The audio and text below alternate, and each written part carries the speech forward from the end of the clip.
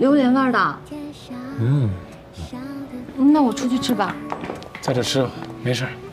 我现在对这个榴莲味已经免疫了。那你尝一口。哎，那还是不必了。那你还是不喜欢？我当然不喜欢了。那你为什么要做榴莲蛋糕？因为你喜欢。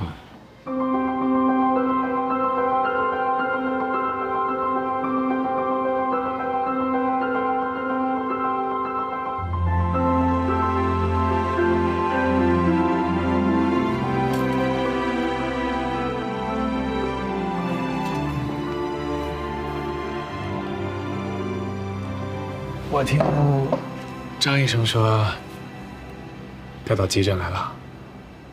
嗯，是不是呀？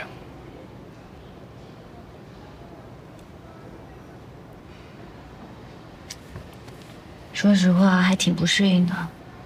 这两天，经我手的病人就已经走了三个，还有一个因为百草枯中毒，现在正躺在病床上。你别看他现在好好的，可能到了明天中午，他的肝脏就会开始衰竭，紧接着就会出现肺炎、肺不张、肺水肿，或者肺部纤维化，最后被活活的憋死。直到死，病人的意识都是清醒的，可怕吧？一个救活的病例都没有。有，可是极少极少。主要是看病人服用的时间和剂量，如果少于十毫升的话，并且及时洗胃、及时血液灌流，再加上自己个人的一点运气，可能也只是可能，还会有最后一线生机。